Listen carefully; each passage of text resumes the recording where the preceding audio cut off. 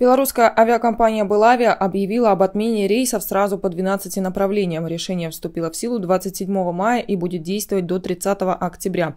Оно затрагивает 8 стран, среди которых Россия, Германия, Италия, Польша и ряд других европейских государств. Под запрет «Белавиа» попали сразу 4 города Германии, 2 итальянских города, а также Калининград.